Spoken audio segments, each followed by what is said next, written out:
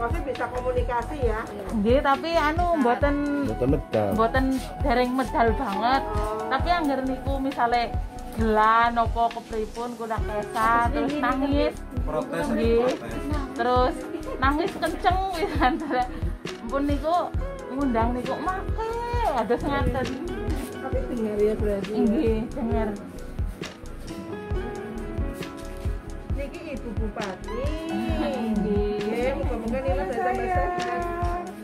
Baune kan tangane kados ngaten, mboten saged niku aku niki kan pun mendingan.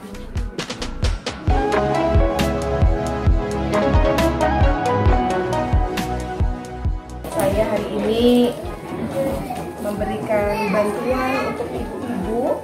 Kebetulan di masa pemerintahan saya karena banyaknya ODKB di Purbalingga, ODKB namanya orang dengan kecacatan.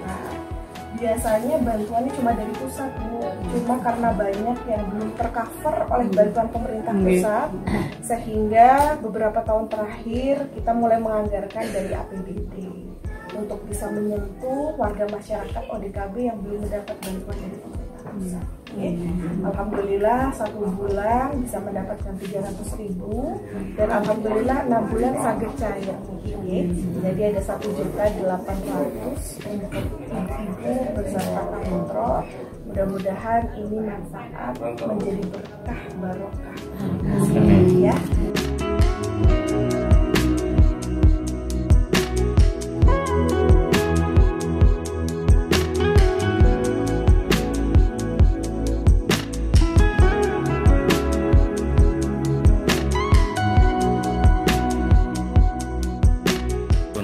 ODKB di Kabupaten Purbalingga.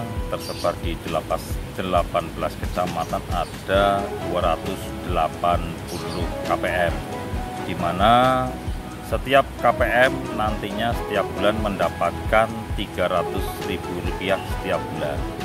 Sehingga untuk pencairan pada tahap ini tahap pertama bisa cair 6 bulan sehingga masing-masing KPM mendapatkan 1 juta 800 Ya, hari ini dibagi di mana aja, Pak?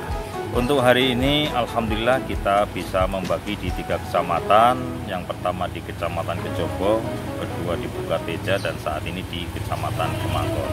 Untuk kecamatan yang lain sudah kita jadwalkan untuk di minggu depan